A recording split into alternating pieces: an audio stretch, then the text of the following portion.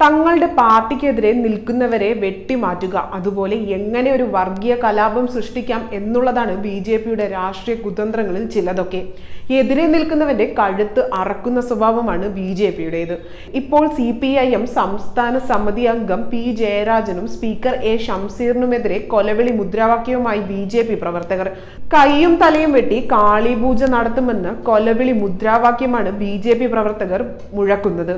തലശ്ശേരിക്കടുത്തുള്ള മാഹി പള്ളൂരിൽ നടന്ന പ്രതിഷേധ പ്രകടനത്തിനിടെയായിരുന്നു ഈ നാടകീയമായ കുലവിളി മുദ്രാവാക്യം വിളി അരങ്ങേറിയത്.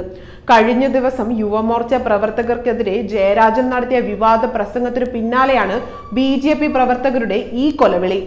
ഗണപതിയെ അപമാനിച്ചെന്ന് ആരോപിച്ച് ഷംസീറിന്റെ എം എൽ എ ക്യാമ്പ് ഓഫീസിലേക്ക് യുവമോർച്ച നടത്തിയ മാർച്ചിൽ സംസ്ഥാന ജനറൽ സെക്രട്ടറി കെ ഗണേഷ് നടത്തിയ വെല്ലുവിളി പ്രസംഗമാണ് സംഭവങ്ങളുടെ എല്ലാം തുടക്കം.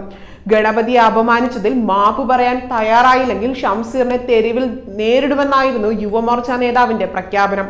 കോളേജ് അധ്യാപകൻ ടി ജെ ജോസഫിന്റെ കൈ പോയതുപോലെ കൈ പോവില്ലെന്ന വിശ്വാസമായിരിക്കാം ഷംസീറിനെന്നും എല്ലാ കാലത്തും ഹിന്ദു സമൂഹം അങ്ങനെ നിന്നുകൊള്ളണമെന്ന് കരുതരുതെന്നും കെ ഗണേഷ് പ്രസംഗത്തിൽ പറഞ്ഞിരുന്നു.